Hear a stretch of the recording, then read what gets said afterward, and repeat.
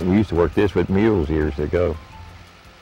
George and Tom Ritter are one of the last links to the way thousands of residents of Delhi and Green townships made their living in the 19th and early 20th centuries.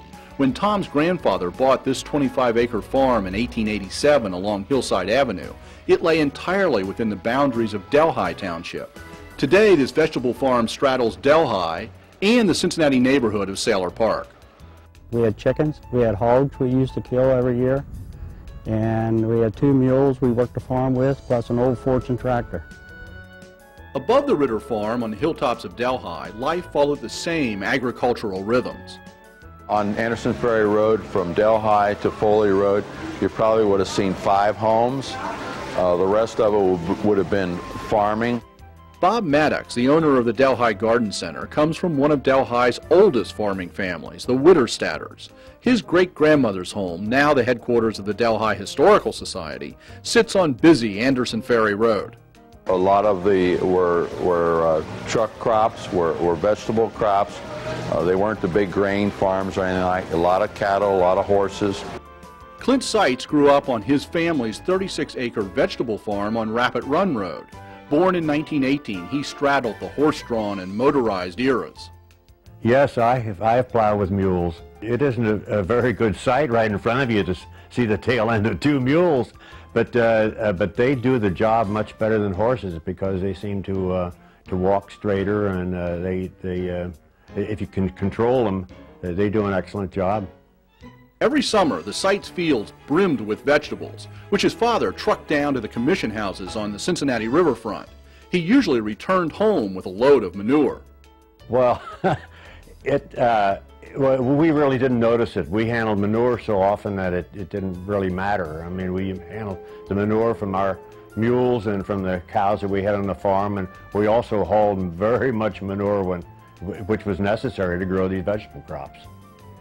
In 1912, Clint's father and grandmother began constructing a series of greenhouses. Ultimately, they put three acres under glass. For 39 uh, years, we grew only two crops of tomatoes. That's all we grew. We marketed uh, tomatoes in eight-pound baskets, and um, uh, we would grow uh, about uh, 10,000 uh, baskets of tomatoes per acre. That'd be 30,000 baskets in the spring crop. And then the fall crop, due to the fact that we had shorter days and, uh, and the, the crop was shorter, we would probably grow about half that amount. But what set a core of Delhi growers apart from the other truck farmers who ringed Cincinnati was their increasing concentration on growing flowers, beginning in the 1870s. Linus Sailhorse's father discovered the potential profit in flowers. He was the engineer for the um, the incline, Hill incline, and his dad was a farmer. See? So his, um, he asked his dad if he could grow a row of flowers alongside a potato patch. And when he got done, he made more money out of that one row of plants, one row of flowers than Grandpa made out of the whole field of potatoes.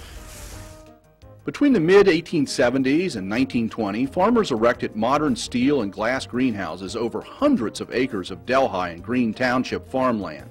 Western Hills fruit and vegetable farmers took their crops to Findlay and Court Street markets and the wholesale commission houses.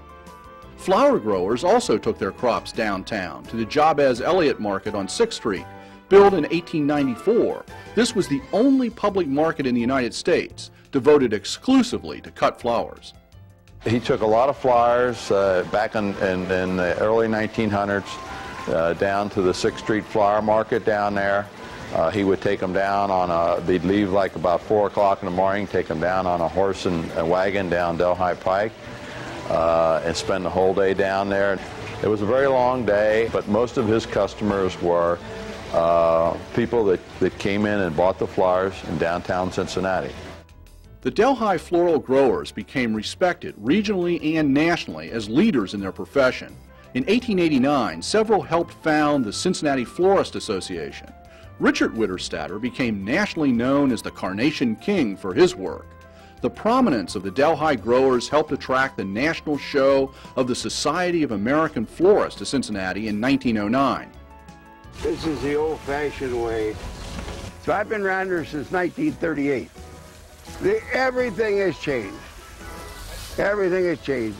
When my dad built this place in 25, um, he um, he put the whole range in carnations.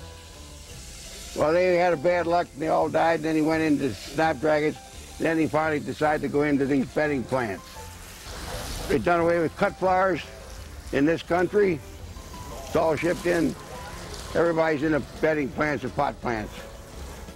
At one time, the growers in Western Hills concentrated almost exclusively on cut flowers. We used to grow a lot of them in Delhi. Well, this is one of the last crops in Delhi. We used to raise carnations and snapdragons, pompons, or daisy-type pompons, and um, we even grown a lot outside. But as years went on, they got cheaper from South America, and that's where a lot of them are being shipped in from now. The Robben family on Pedretti Road is one of the few who still grows a significant variety of cut flowers, both for their florist shop and for wholesale florists elsewhere. In early spring, it is alstroemerias, enchantment lilies, and snapdragons. Later, it will be iris, sunflowers, and delphiniums. We're one of the very few greenhouses slash floors that can go into the back of the greenhouses, cut them, and then retail them out that same hour and send them out for the freshness, the quality to our consumer. I like to grow snaps and see how big we can get them in that and stem length and everything. As family businesses now in their third and fourth generations, every Delhi grower holds on to a trace of their family's past. At Witterstaetter's Garden Center, it's hydrangeas. Part of it, I think, is my father. He, it's, it's, one of, it's one he likes to grow. For color and for, for splash, it's, you can't find hardly anything that will give you that much of a, an umph, a, a, a blast of color. It's a, it's a great product to have. But there is no doubt that today, for Delhi growers, selling bedding plants for people's yards and gardens is the centerpiece of their business. Basically, probably 80 to 90 percent of the money that garden centers and greenhouse people make that are actually profits are in the springtime. The changes in the floral industry go far beyond the shift from cut flowers to bedding flowers. Boy, without plastic, I don't know what this industry would have done. I mean, it's just, that's another product that's just revolutionized, uh, made things so much easier. I mean, either with plastic uh, roofs on greenhouses to the tubes that you see, um, these little spaghetti tubes. I mean, you can run a plastic line, put holes, 400 holes in them, and water 400 plants in five or 10 minutes. Plastic has also replaced heavy breakable clay pots with sturdy lightweight plastic trays and pots, while modern machinery has replaced laborious hand planting with efficient machine planting. And modern science has transformed the flowers themselves. There is probably 70 to 80 varieties of poinsettias right now. Uh, back when my grandfather was growing poinsettias, uh, there was like three or four varieties. Uh, we did not have a pink. All we had was white and about two or three varieties of red. Believe it or not, we start with our poinsettia season the middle of February. Right after Valentine's Day, we start building our stock plants so that we can take cuttings in the first part of June. So we are, we're only about six weeks that we don't have poinsettias on our property. Poinsettias are, uh, you know, they're our second season next to spring. Social forces are also at work changing the industry. Since the end of World War II, the pressures of suburbanization have made it tempting to sell off land once under glass for subdivisions of new suburban homes and commercial retail strips. On Delhi Pike, where our garden center was, there was only there was five greenhouse operations on here and nothing else. And in the 1990s, supermarkets and national chain stores pose a real challenge. The supermarket, the impulse.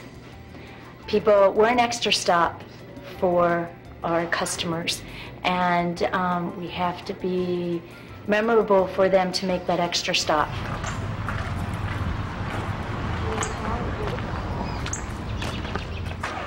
Whatever the mass market are selling, we're looking for other products. We're looking for different products. We're looking for other garden stuff. Uh, instead of a, an impatiens hanging basket, we're looking for a combination basket putting together. Stuff that they don't carry, stuff that's unique. And when it comes to creating special products and a unique shopping experience, Sue Bruns at the old greenhouse is on the cutting edge. If I had time and money, I would be a bird watcher and I would travel and I'd have my life list and I'd check off all these birds. But I've never been to Africa or Australia or places like that, so I can watch them here. Everybody comes in, the first question is, well, do any of them talk? They talk, they just don't talk the same language. And when it comes to flowers, the old greenhouse has its signature products as well.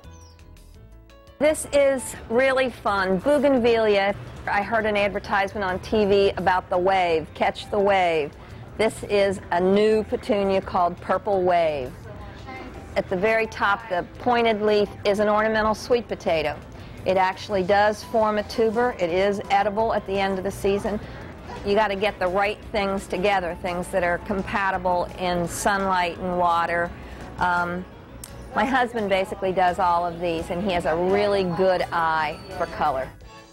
Today, with specialized magazines, floral shows, and gardening programs that fill cable channels, customers have changed. I think the customers are far more educated because the amount of publications that are out there.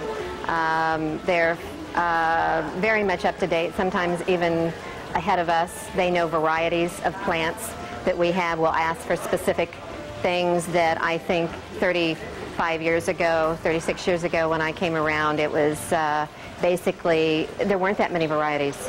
There were petunias, geraniums, uh, a few impatiens, and that was it. In the 20th century, the greenhouse growers of Delhi and Green townships transformed their communities into the floral capital of Ohio. As they move into the 21st century, the future lies with a new generation who first learned the business from their parents and grandparents. It's in our blood, I guess you would say. It's a lot of hard work, and there's sometimes that I wish I didn't like it, but it's it's gratifying. It's a people. I'm a people person, so you meet your customers, and I'm very proud of our family and the history that we have in Delhi, and I guess that's why we want to continue on. It's agriculture, and it's a lot of you'll find it's family-run businesses, and, and you got to love the, the work. If you don't love the work, it's not the work for you.